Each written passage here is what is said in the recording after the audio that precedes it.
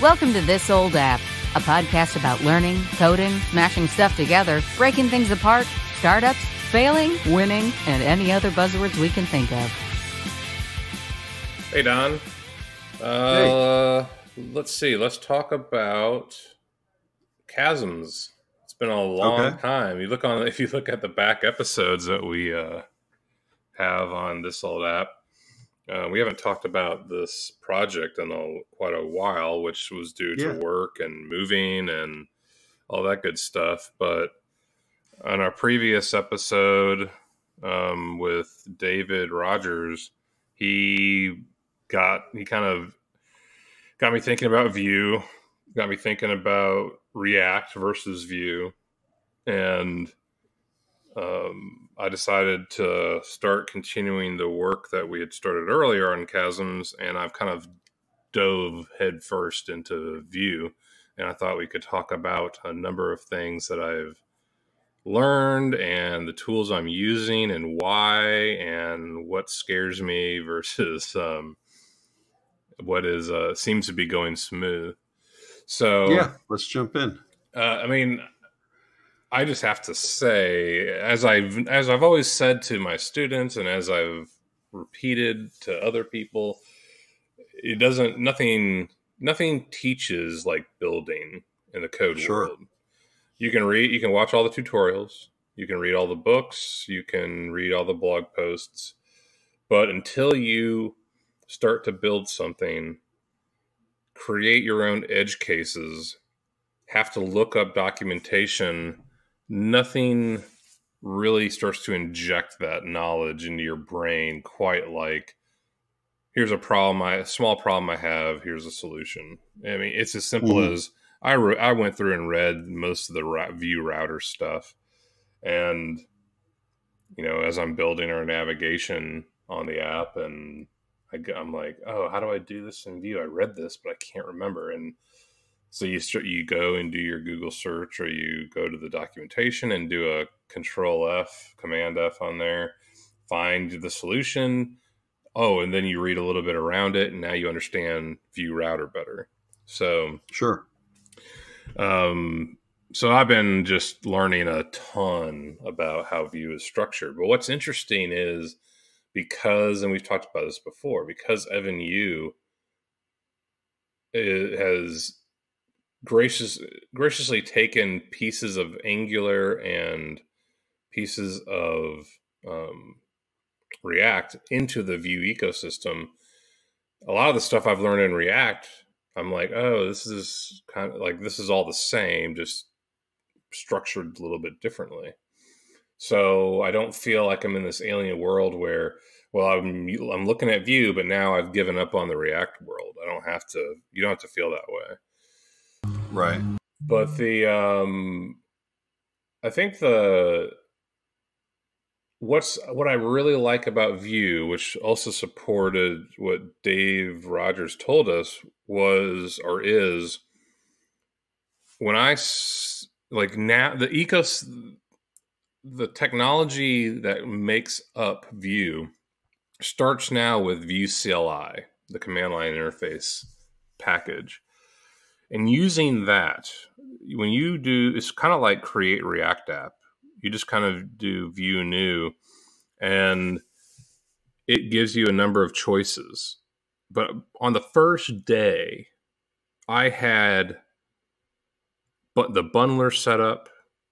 I had the I had two test environments, a unit testing environment and an end-to-end integration testing. Um, you could choose on those what you wanted, but I chose to use Jest for unit testing and Cypress for end to end. I think you can use Nightwatch for end to end and maybe Mocha for the unit, but I was Sure. able to write a test the first day on both platforms, which was no setup, like no configuration, just write some code and watch a test run. And uh, I'm not a TDD person when I'm learning something. I just can't really get into it that religiously. But I'm able to go back now and I'm going to start writing tests for some of the features I've finished on the app. And I know I can get Cypress to work. Um, so that was really amazing. The other choices I've made, well, one router is easily built in. So, and it's there's only one real router you're going to use. It works really, really well. So I didn't have to bike shed on that. Vuex, the uh, Redux like um, store, is built in. Is you install it, is built in. Like you don't really mess around with the continual wrapping of components with the store. Like if you install it into Vue, it's there to use.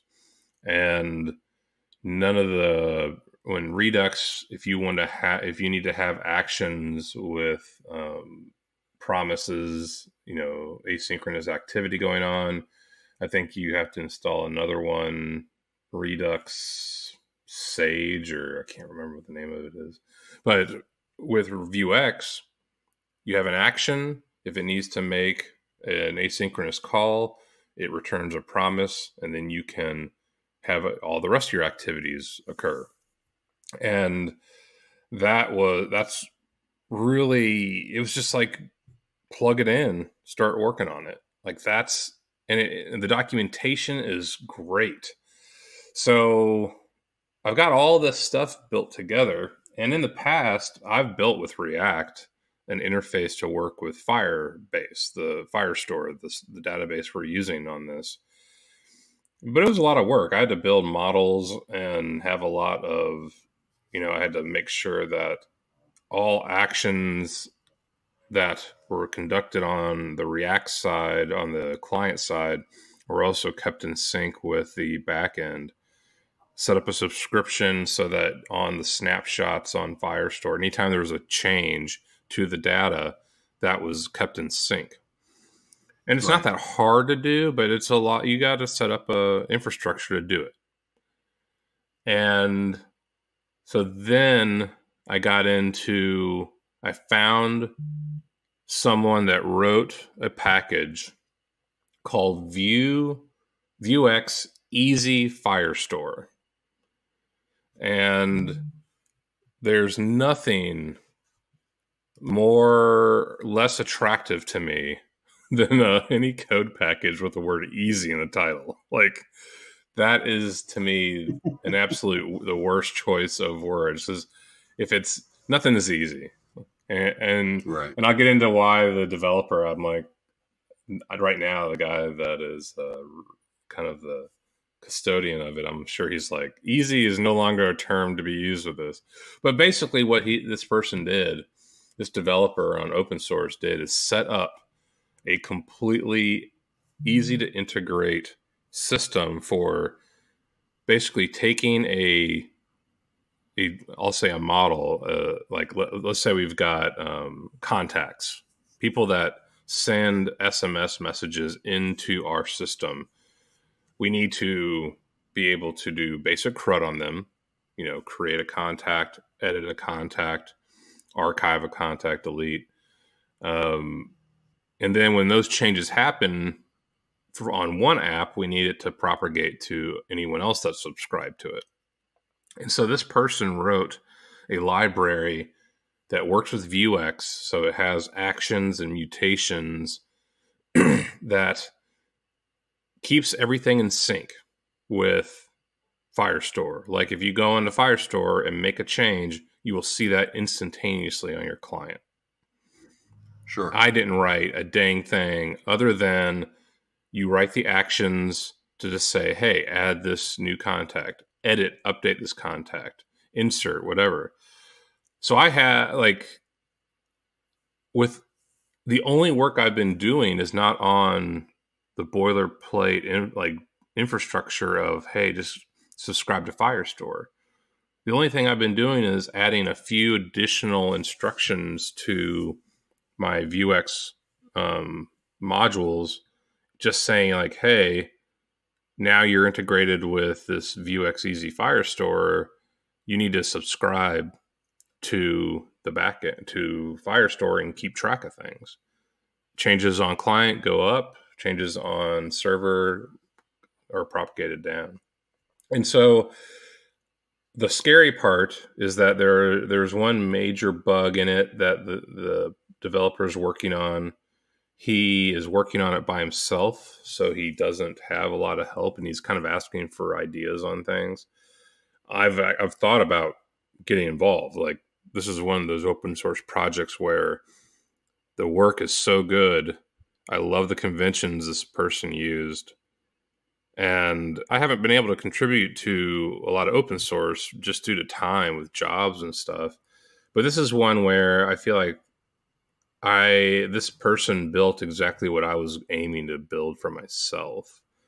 And right. if I can help him get over the the hump with some of the bugs, which is related mainly to how browsers um, and Firestore cache certain data and then when you reload the browser, the app, it kind of pushes up data by accident um, and then erases certain things. And it's like, that's a pretty bad bug, but it's something that anyone trying to subscribe like this would have. So it's just one of those things of what I've done over the last two weeks uh, with Vue has been has put me in a position where I could build a lot of stuff with Vue now. Like I, I just know sure. that everything I, have learned the basics. What I need to know, learn now is, is kind of like um, I need to learn best practices, which I've gotten a lot of that from the React community. I need to learn. I haven't learned about scaling and efficiency. Like if you were to load this app, it would take a long time. Um, so I really haven't gone into optimization, tree shaking, which is ha- like preventing packages from getting bundled that we aren't using, slimming down Firebase so that we're not loading every part of the library that we don't need, stuff like that. Um, server side rendering. I haven't gotten to SSR yet, but I know it's part of the Vue CLI installation. So in theory, I could start. I could set this up as a PWA, a progressive web app, immediately. Um, so I've been talking a ton, obviously, but I can say that the approach of built having all the tools in your hands immediately with Vue compared to the kind of piecemeal approach that React has done, I would say there's a huge benefit to building an app, at least a prototype if you wanted to, with Vue and I kind of go back to the David Rogers um, interview and say, I'm glad we had that because I am really happy with what I've been building so far. Sure. So I've got a project. I need you to build it, and I need it done within a, comp- uh, uh, a tight time okay. frame. What are you reaching for? Without knowing what the project is? Yeah. Are you reaching for Vue or React? I'm reaching for HTML and JavaScript. Okay, good answer. Because good I, don't, I, don't, have an. I, you got. You have to. you have to give me scope. I have to. I have to know what I'm working on because Vue, like a, a single page app, isn't for everything. Right. There's so many things that don't need it. Um, if you were to say, "Hey, I need a progressive web app experience, a single page app experience for a problem," right now I'm reaching for Vue. Okay. Like I, I just feel like this community and this development approach has legs. And it's not a knock on React. I think React has paved the way for a lot of this stuff. But I feel like I could like if you were to say, "Hey Randy, you got to teach Megan um, a framework now. Like she's still trying to learn the basics of Node and JavaScript. Yeah. I feel like if you were to tell me you got to teach Megan now how to do a framework in JavaScript, I'm like, Vue just gets it going. Right. Like you, the way that you integrate Redux with React and the router with React and make all that work together leads to a lot of what the heck are, are we like your components just have this at the very end of your components you have this whole like wrapper mania where you're just trying to connect everything. And Vue just made it so that, hey, this wrapping, you do it at the very beginning and you don't need to worry about it. Sure. Um, again, that's really valuable. There's there's a lot of value in getting abstracting that um, complexity. Doesn't mean it's not happening. It just means I don't have to worry about it Right. really. So, so that that. So anyway, that's why I would make that choice right Well, now. and that's that's really you got to the crux of the question, which was you got to lean on something, lean on it hard. What are you leaning on? And and your answer was, I'm gonna I'm gonna Yeah. lean on Vue. So knowing knowing the different technologies you've chosen through your career, um, this I think is the first time you're choosing what I'm going to loosely term as a second place technology meaning it's not the most Yeah. popular one. Um, it's the one that is is good, but in second place. Do you do you have any feeling on on how, if that feels different or or it's just the right choice? Um, are you making the Betamax versus VHS decision here? I don't. Yeah, that, that's all of that's relevant. Um, so, so like the question I have is, when I chose Rails, was I choosing the number one then? Mm, I think it was it, if so so different point in the life cycle probably. My guess is if it wasn't number 1, it was the hot thing. Yeah. Um So Rails was hot. I was in Chicago, where Rails is headquartered, so to speak. Um, th- and by the way, Vue feels like Rails to me Mhm. in the sense of the joy I have using this framework to build with compared to anything else on the front end. Um, Node feels more like ASP.NET a little bit. well and uh, in the sense of. Yeah, uh, and, and that that mirrors you and I talked about this a little last week. Um, that mirrors Greg Pollack's decision to to focus on Vue as well. He he was in the Rails Yeah. community. He he turned to Vue, so there's something there. Um, I don't know if it's fact And Greg- both Greg- of them are probably both of them sound very opinionated. Rails is opinionated. Greg, yes, Oh. yes, and Vue is opinionated for sure, but it, they give you a lot of flexibility. Like you don't have, you can do. I mean, it's Rails does too, but people f- tend to follow certain things.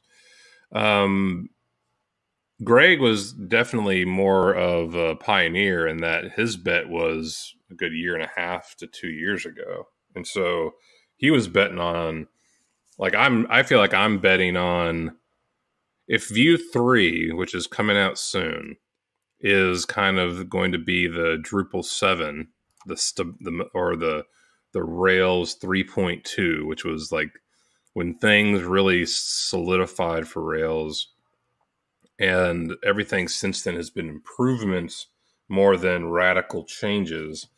I would say Vue 2 is probably that way, but Vue 3 will be, I think, that true maturity Sure. version. Sure. And I'm making the bet right before the right before that comes out because I I feel like the risk of me falling into that oh, I just chose a has been is really I just don't feel like that. Yeah. I don't feel like I'm on that. Now Rails ended, ended up being a, what 10% of the of the back end framework market. End of the day, when you look at the use the usage across the surveys that happen every year, Rails has plateaued at 10%. Yeah. And and you now see the new blood is uh, uh, Elixir and Phoenix. Um, Phoenix is the kind of rails of the Elixir world. That one is starting to gain gain steam because it's kind of fast rails. Um, and there's some well-known development teams in the United States that are really championing that on the enterprise level. Yeah, but it, it, it so- certainly to me it doesn't feel like it's got the same uh, momentum that Rails has. It's got noise in the system, but when Yeah. even when you start on Rails and and and we we we were in constant uh, communication back then. You, you were talking about Rails, and I'm like, oh yeah, I, I know Rails, and and yeah, that sounds like the hot thing, so on and so forth. But you mentioned Elixir. Yeah, I've heard of Elixir. You mentioned Phoenix. I'm like, maybe I've heard of Phoenix. Um, it certainly doesn't Mhm. have that that cachet that Rails had at that time. So um, I don't. I think it's not accessible to one. If you if you want to talk about pre-optimization, that's what you're. If you were to select, if you or I for a small company project were to select Elixir and Phoenix, it's like, do you need that speed? Right. Like, do you need the lear- the learning curve is steeper? You got to learn functional programming and Elixir. And it's not intuitive if you've grown up in an object oriented approach, really. Sure. I like I, I I like aspects of it. I mean, I've coded that way before. Um, Lord knows I coded functional with ASP.NET, and I didn't know what I was doing. Right. Um, but the at the end of the day, it's when I the the key thing I said was the the consultants are championing it for enterprise development. Yeah, you did. I think Yeah. the I think Phoenix, and I didn't emphasize it, but I I am now. I think that Phoenix and Elixir are going to be the poster children for enterprise development because Rails isn't fast enough, even though it can be if you work like you should on it. That's I think that's where it's going to go. But to the point is like getting back to I chose Rails, made a bet on that. In the end, it didn't end up winning the ecosphere. It didn't win. It didn't end up winning the back end. I don't know. I mean, I guess Node truly has. Well, no, anything, I I don't but- think I don't think that's a fair statement. I think it's perfectly fair to say there was a five year period, and maybe five's not right, but uh, uh, uh, certainly a long time where if people were out there looking for, you know, let's let's say somebody comes to you and says, "I want a project built, and I keep hearing about Rails. Can you build it in Rails?" Yeah, Um, Yeah, yeah, it, yeah. it certainly was the number one thing that people kept saying. I keep hearing about this. Um, so yeah, ten percent's ten percent, but it was also the thing. Um, Yeah. If somebody comes to you today, that the majority of them are saying, "Can you build it in React?" yeah. And Which leaves out the back end piece completely from the equation, right, wh- Which you still need. which is right. It's only half the equation, but again, we're not talking about knowledgeable people. We're talking about people coming to you with with checkbooks saying, "I want it built this way," because that's the way people with checkbooks usually come. Um, saying saying what they want it built in without really understanding the, the differences. Um, so uh, that that that's the comparison I'm trying to make here. Is is Yeah. I think you pick the one that that it was going to be easy to pick up uh, consulting work in. So do you see challenges ahead? Um, or, or, or are you already wrapping your head around? If anybody comes to me with that, I'm going to be like, "What? Let's talk about the the the React requirement and why you want to go that way, because there's a better Well, that- that- That's a pretty dang good question because if you're looking for jobs, Vue is not the one that you would make a bet on Right. right, now in the job market. Right. Um, React is so dominant in the job sphere that it just doesn't. Um, yeah, it doesn't make. If that's your goal, getting a gig, getting a job, which should be mine. I mean, I'm working. Uh, I have a paid client, but it won't last. It won't, I don't know how much longer it's going to last. So yeah, I should be worried about that. But um, yeah, it's Vue is the better learning framework. It is the easier build framework. It is not the most popular framework. right. React React is dominating the conversation. It is by far the most predominant um, search term to use on job boards. The recruiters that approach me way more React and Node type stuff. But um, I still would say if you want to learn, like so much of what I've learned in Vue, I just need to go back into React and go, um, hey, how do I how do I do this thing? It was easy in Vue. How do I make it work in React? Even though, I, even though I think React started it and Vue finished it, um, that's how I would approach it. And so, you know, it's always that argument of what's the better tool. On on the one hand, as the person applying the tool, executing the work, what's the better tool for me to use? As the hiring manager at a company, I have to ask, who can I find to work on this? Right. And what I don't know is will view what I think is going to happen is that the angular people are going to ditch that framework. Right. Because it's just been a horrible Google has horribly managed mismanaged the the uh, progression of Angular mm-hmm. over the years, and I think that the Angular people look at the chaos around React development, which I guess on that point I want to say the Dan Abramov is doing a wonderful job of introducing the new hook stuff since we talked about it, you know, weeks ago. I really think they're doing he's doing a kick-ass job at getting React people on the same page. Sure. And so, but at that same point, you know, they keep on moving at such a fast clip that companies get really hesitant to invest, to really bet on things. So I think the Angular folks will love what Vue has to offer. Sure. And I start, um, and that, and Angular is a lot more the enterprise world. I mean, if you look at Microsoft, bet highly on Angular at the beginning um, I still see Angular out there a lot on we need an Angular developer for our existing front end app. I think that that's what you're going to see the majority of, well, two things. You're going to see the majority of people move from Angular to Vue. So that's a good chunk. And then the the Chinese equate part of the equation. Evan You, I believe, has has well, he's I think he's Chinese. I think he may be a citizen in the United States now.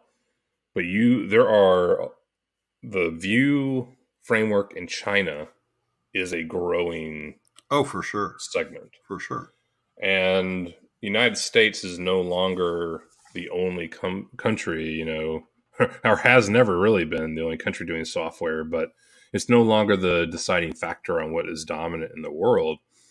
And so if China, because if the you know Ruby's jet, like Japan is where Ruby was strong. That's where right. Ruby started was Japan, and right. so Rails as a part of it became big in Japan.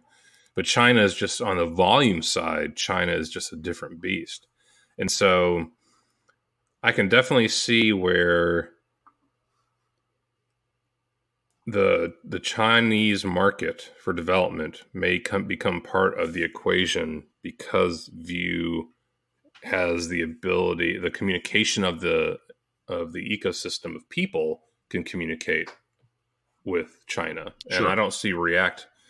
One, I don't see React making those kind of inroads there just due to the Facebook factor, perhaps. Right. But which is a different argument, I guess on Facebook in China. But I, I still think there's that segment that I've not seen as part of a framework is that many people potentially working on the framework. Right. And when I look at the when you look at the Vue contributors, there's a there's a lot of international, like way more foreign, non-United States based um, contributions going to Vue than I've ever seen with any of the frameworks I've worked with. Yeah. So, so wh- while you were talking, I pulled up because I, I, I knew that I I'd thought this before. Um, I pulled up the state of JavaScript um, survey results. Um, yeah. And for for React, the majority of usage is the U.S., uh, you know, Australia, Scandinavian countries. Um, that's mm-hmm. pretty much where it was focused. You flip to the Vue page, and it, it's almost like a mirror opposite um, yeah. on the map. It's South America, it's Europe, it's Russia, it's China. Um, Yep. So very interesting comparison there, and I don't know, I don't know why that is, but it's interesting, um, and it probably speaks to Vue's long term viability. Um, but it doesn't necessarily mean that it'll uh, ever get to that first play to that to being the hot thing um, over React. So it'll be interesting. You may end up with a lot of European contracts. Yeah. Yeah. So it's, so yeah, it, it- like to me, it's, I'm, I, I guess going back to a point I made earlier, I don't feel like I'm making, I've made a bet on React and Vue. And I feel like I feel like I can be very productive in both environments. sure. So I don't really feel like I'm saying Vue's the way to go. React is second. React, I won't be doing React anymore. I'll say for our project, I think you'd like Vue better.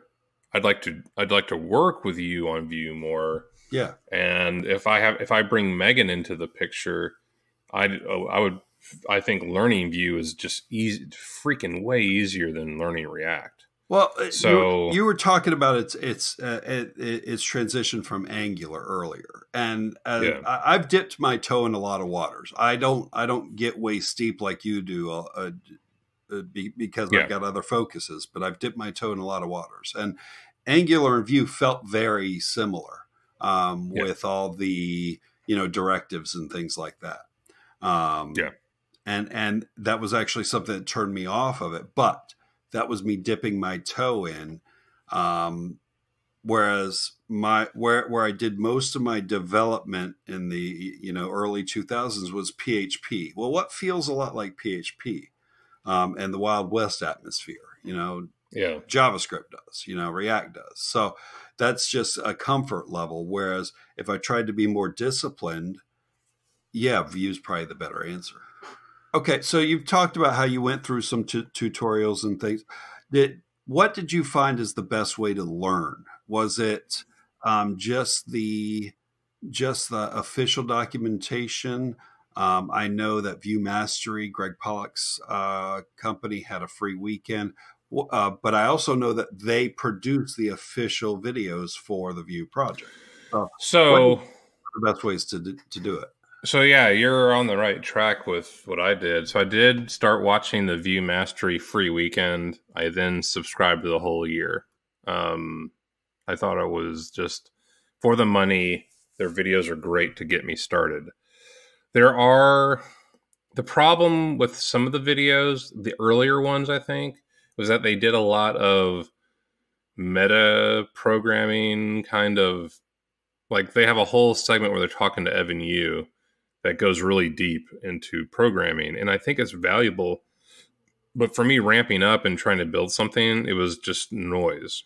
But that was Sure. one section. They have really excellent um, the building blocks of Vue, the from the very basics all the way to things you like. You build an app. You're building something that actually would work if you were to follow all the steps. And so I did pretty much those two tracks. They have there. There is another framework out there called Nuxt, N U X T Yeah.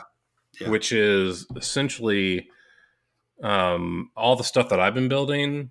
They it's kind of the rails of Vue in the sense that they Right. are getting a lot of stuff done for you even farther um, advanced. But I I'm a little wary of those things because Evan You doesn't really control Nuxt. And so Nuxt, Right. Nuxt has conventions that they follow that they've built that don't really go s- side by side with Vue.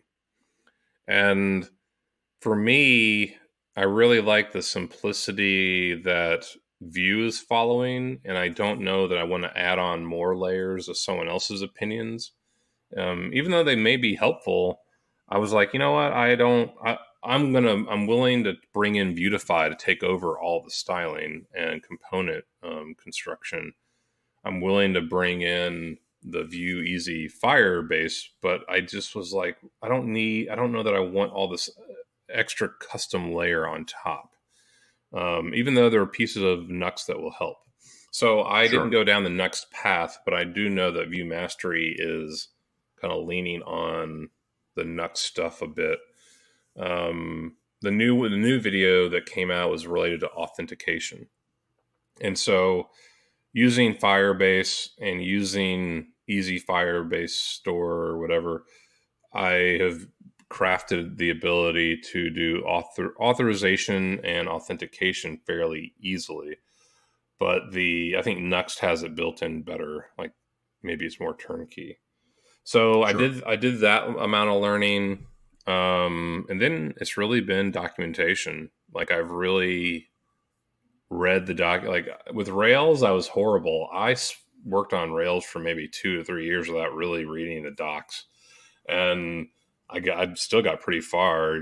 But this time around, I'm like, I'm gonna read the like if I have a question about Vue Router, I'm gonna read this section, and if I have a question about um, if I have a question about the Vuex, I'm going to read what they tell you, what it's doing, how to do it. Like, I'm trying to be a little more, a little slower with code it, copy and paste this example and customize it. You know, I, I want to really understand what I'm doing better. And yeah. that's just maturity, maybe along my, in my process. So yeah, I, I, that's what I've been leaning on, really.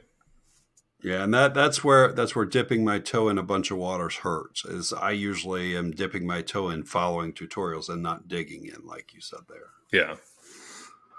So there's, but I do know there's um, a guy named Anthony Gore who's doing. He's got a video series. I don't know that there's enough content in it for me to spend another hundred plus dollars for a year. So I haven't, but he's he put there's like a Vue has all the newsletters. It's got all the blogs. There's uh, Rachel Drasner. I think she is a she she publishes on she's a core team member of Vue. She publishes on CSS Tricks. Um, she puts out a lot of content. So like I feel like the, the most important thing for someone that's getting on board is that you understand the basics of Vue, and then you get to understand how should I solve problems and what packages are available to do it. Sure. And that's where I feel like Vue Mastery does a terrific job of introducing you to packages at the right time. And mm. I mean, of course, Greg and the there's one other person working with him that he knows how to produce videos. It's not like they are not doing it as interactive as um, Code School, but they're doing it pretty close. So the video quality is outstanding. The visual representation and examples are great, and it's still got that Code School feel. But it feels like they're becoming that they are getting to be a little more efficient because I know Code School, sure. the production cost of Code School stuff, is like Rails for Zombies, was huge, and I don't think they're spending that. But it also felt good because Vue Mastery gives back to the core team of Vue, right?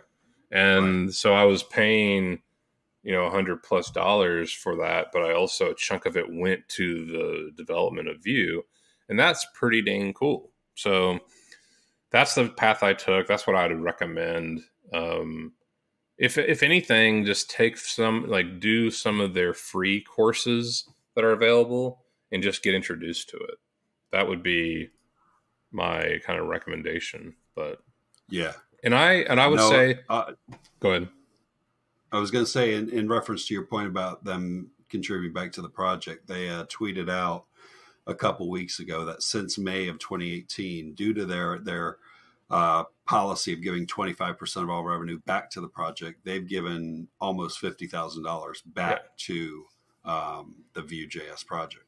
And I think that's significant because it took Rails 10 years before they got that kind of income. Like, that kind of they didn't have community driven funds for Rails for a good decade, and they didn't need it because DHH was in charge, and he is like Basecamp it was funding everything.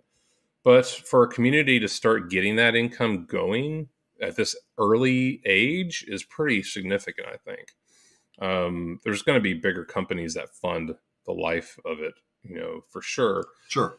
But it's still to get a kind of independent funding coming in like that is important too. And I think it's nice that Vue is getting it in that manner because, like we said, Google took over Angular and then kind of hacked it up. And that's not what yeah. you want. You don't, I don't want Evan You to leave.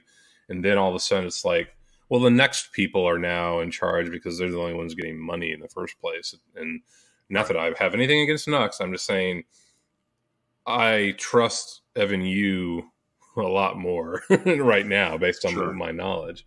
The other the other thing that I want to talk about learning, I use CodePen and Sandbox IO. Is that the name of it? Yeah.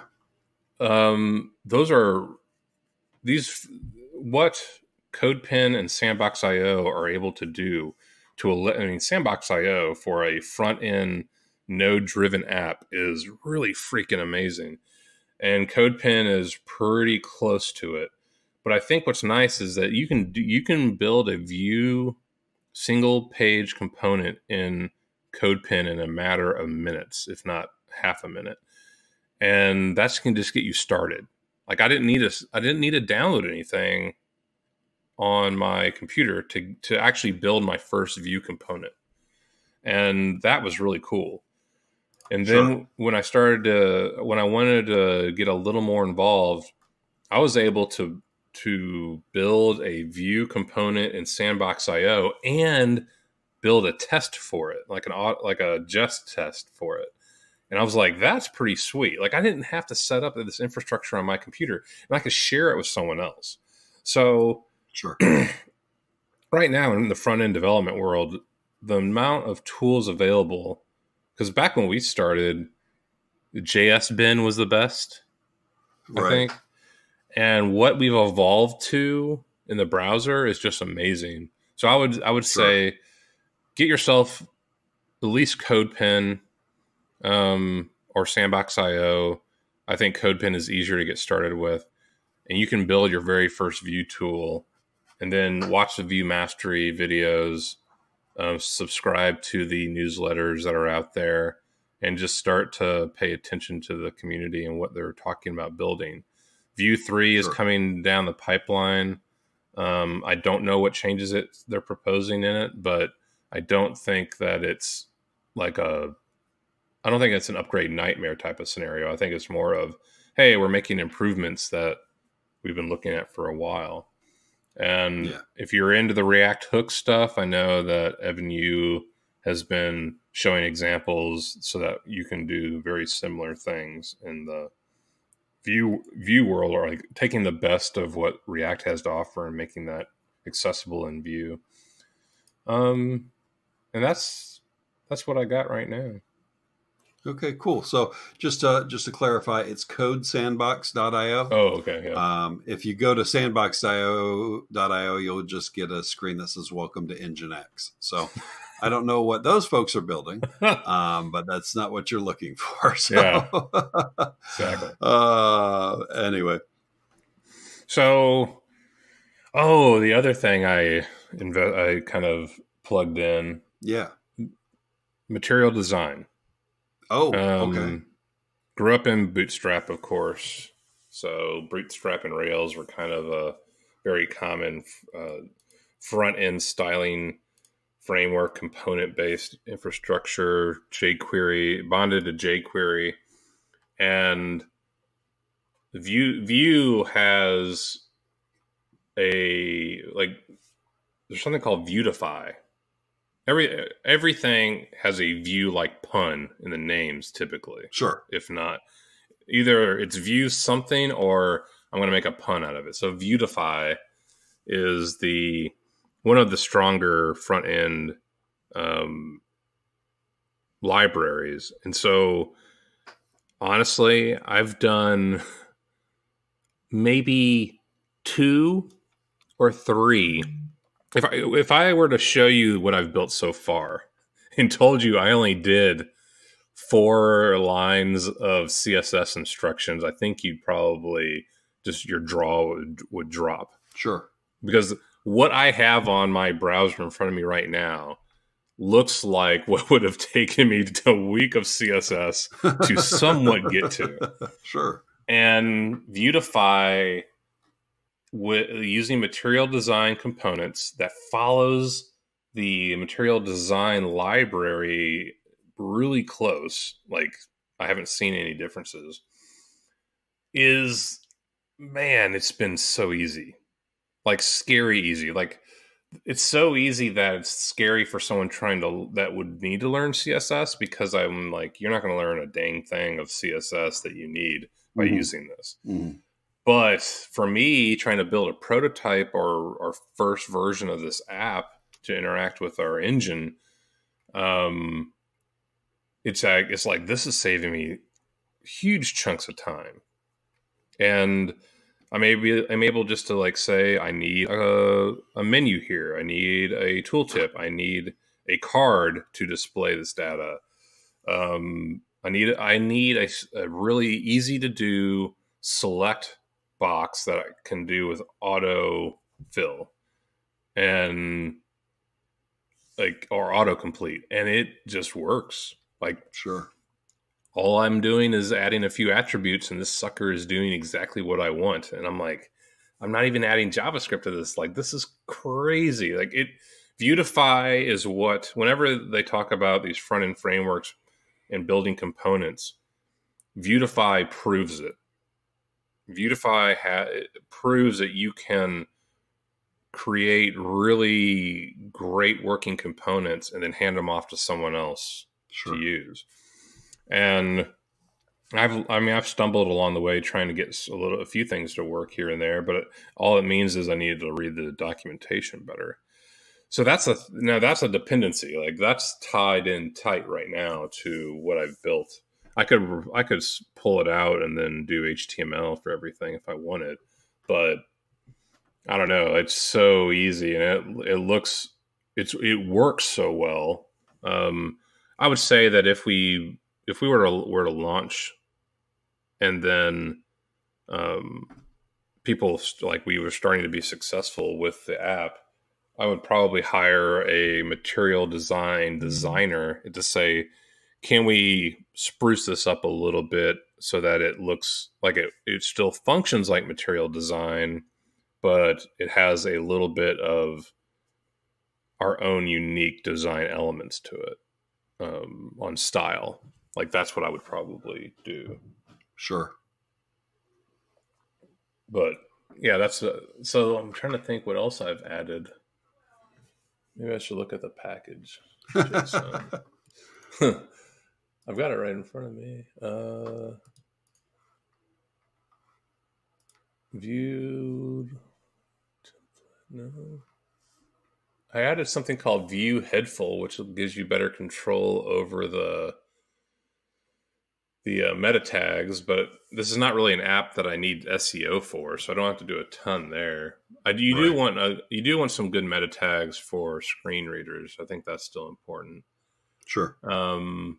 Oh yeah, like this app.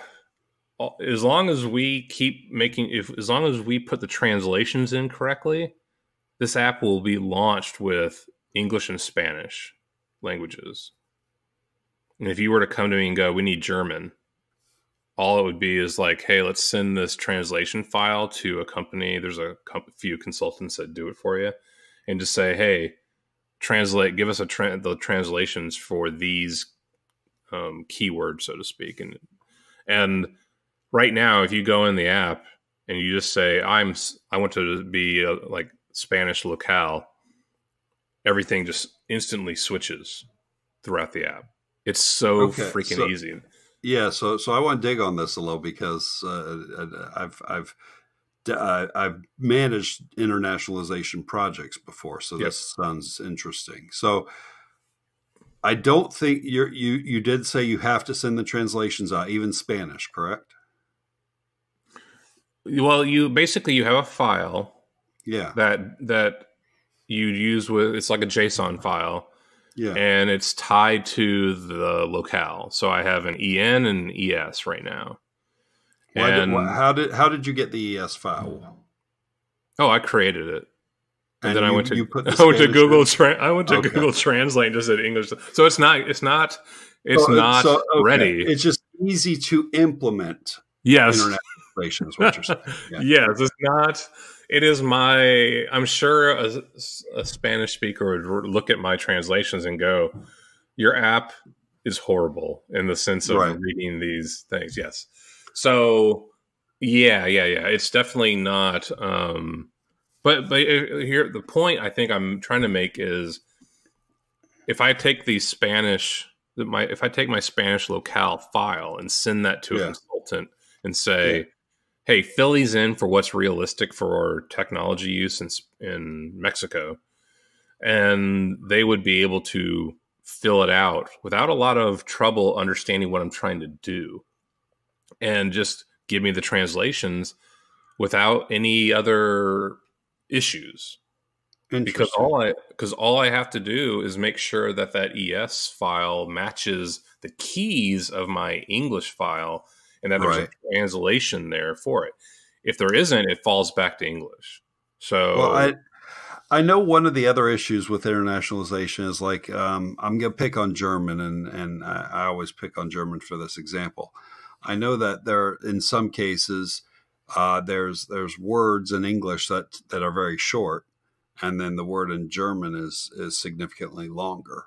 Um, so that messes with your UI problems, and that's another internationalization problem. I assume this doesn't Yeah. solve that problem yeah. this just makes it easy to get the translations in and then you you work with it as far as the uh the ui aspect of it yes, Yep. okay all right it- So it's interesting because the only other place i've seen it where there are and and this is me with all my vast experience where there are, are locale files um, is alexa uh, when when you do alexa Mm. skills there there are there are the same thing json files with Yeah. um, that you can put your translations in now the good thing is over on alexa your ui is less of an issue um, it's Yeah. all about it's all about the language um, so that's why it's significant there but no that's an interesting point the other, let's see, view oh validate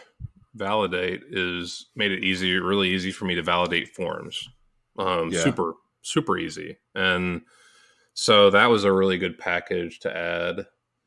I mean, I feel like I have the foundation of a CRUD app for anything we would want to build not just like I've got a few crud model like create a new one, edit a new edit an existing, see the index, the list, look at the detail of one, the show. I've got those set up for two different three different categories right now. I just need to start tying them all together on like how they work, how they interact. But this is exactly I feel like I'm getting to that point in Rails where I had the foundation so solid that I'm just like, yeah, throw me your new problems and I'll adjust to make them work in Rails. And that gave me a lot of confidence when I was trying to sell work in Rails because I just was like, yeah, I I can now work on the edge cases. Before I was trying to get basic stuff done.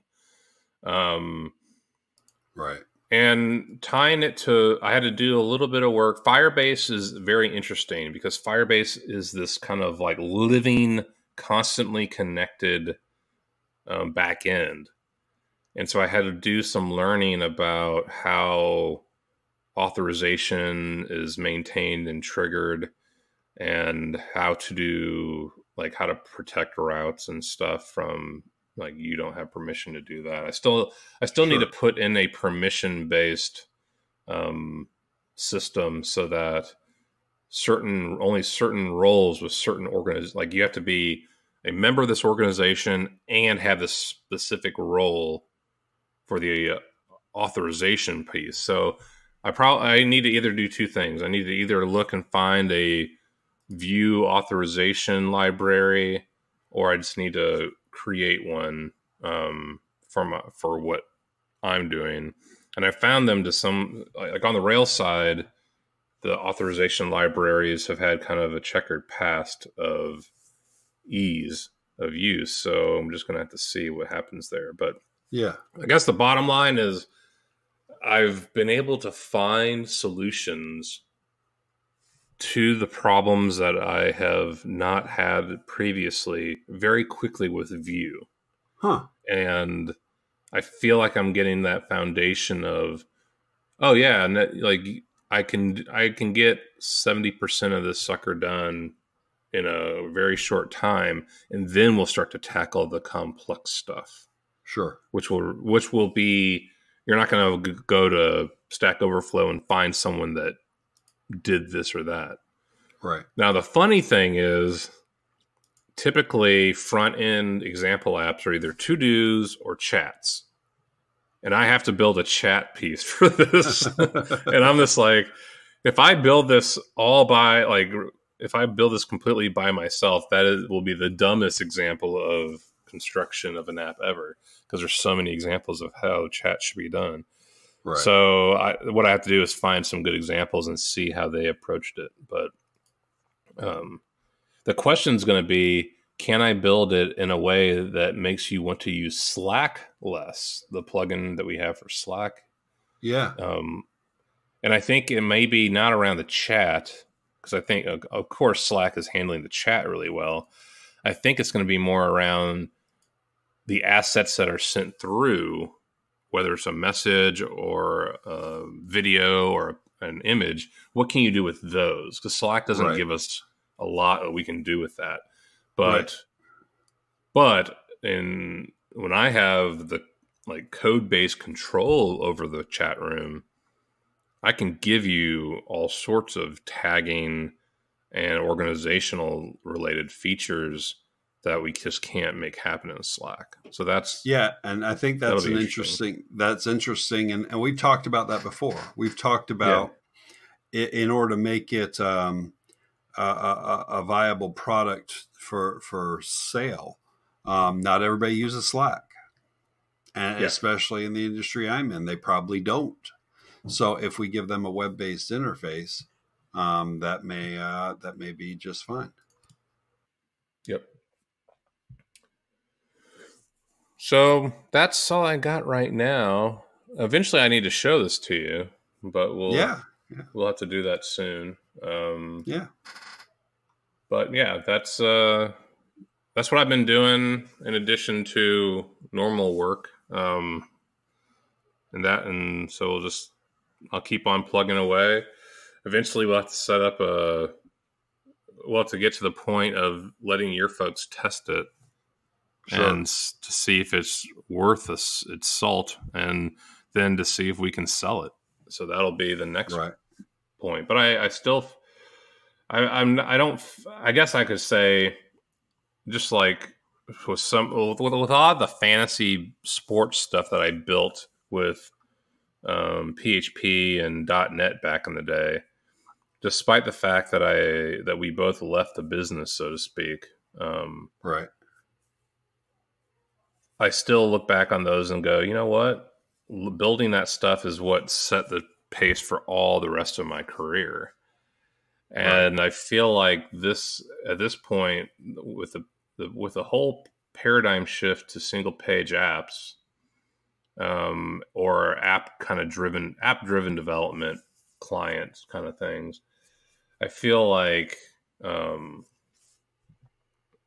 this is i'm now making progress on the second stage where with rail rails moved me away from drupal rails was to me this is how i want back end server development to be and right. now react started moving me away from Rails, but React is, I feel like Vue is to me personally what is getting me like over the hump of oh I'm to be really productive with this. Sure. Um, but I I'm also curious to see how native script uses Vue to produce um, React Native type apps. Right, right. And I just I haven't gotten that far, but I'm curious to see how that all translates. Sure. Well, cool. Yeah, we'll we'll get together and we'll uh, we'll take a look at it, and I'll probably start digging back into it and seeing what I. I never got deep enough into React to where I'm too worried about uh, losing that now any knowledge there. So, Yeah. um, very cool. All right. Well, excellent. Um, and I guess we will talk another day. Sounds good. Later. All right. See ya. Thanks for listening to This Old App. Show notes and previous episodes can be found on our website at www.thisoldapp.online. Reviews on Apple iTunes are always appreciated and help promote the show. For questions, comments, or things you would like to hear on future shows, please email us at hello at thisoldapp.online. Show music is Guns Blazing by Fab Claxton, licensed by Pond 5. Voiceover work by MeganVoices.com. You'll hear from us soon.